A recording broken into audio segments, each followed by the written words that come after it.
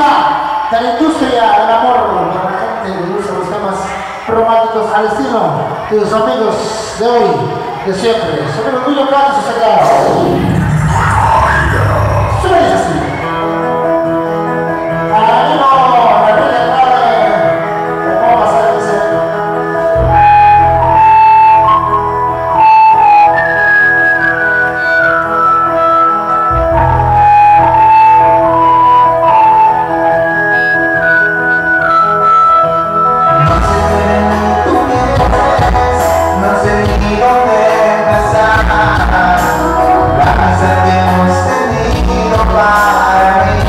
para